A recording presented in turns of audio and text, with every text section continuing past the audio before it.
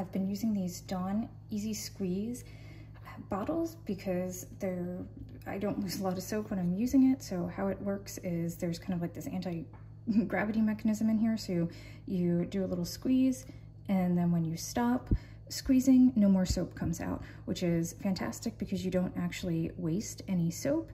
And um, if you take a look here, there's no soap on the bottom of the spout, so you're not actually losing any any liquid. It's the same Dawn formula that you're used to. So it's the same soap I love, just in a better bottle that allows me to not waste soap.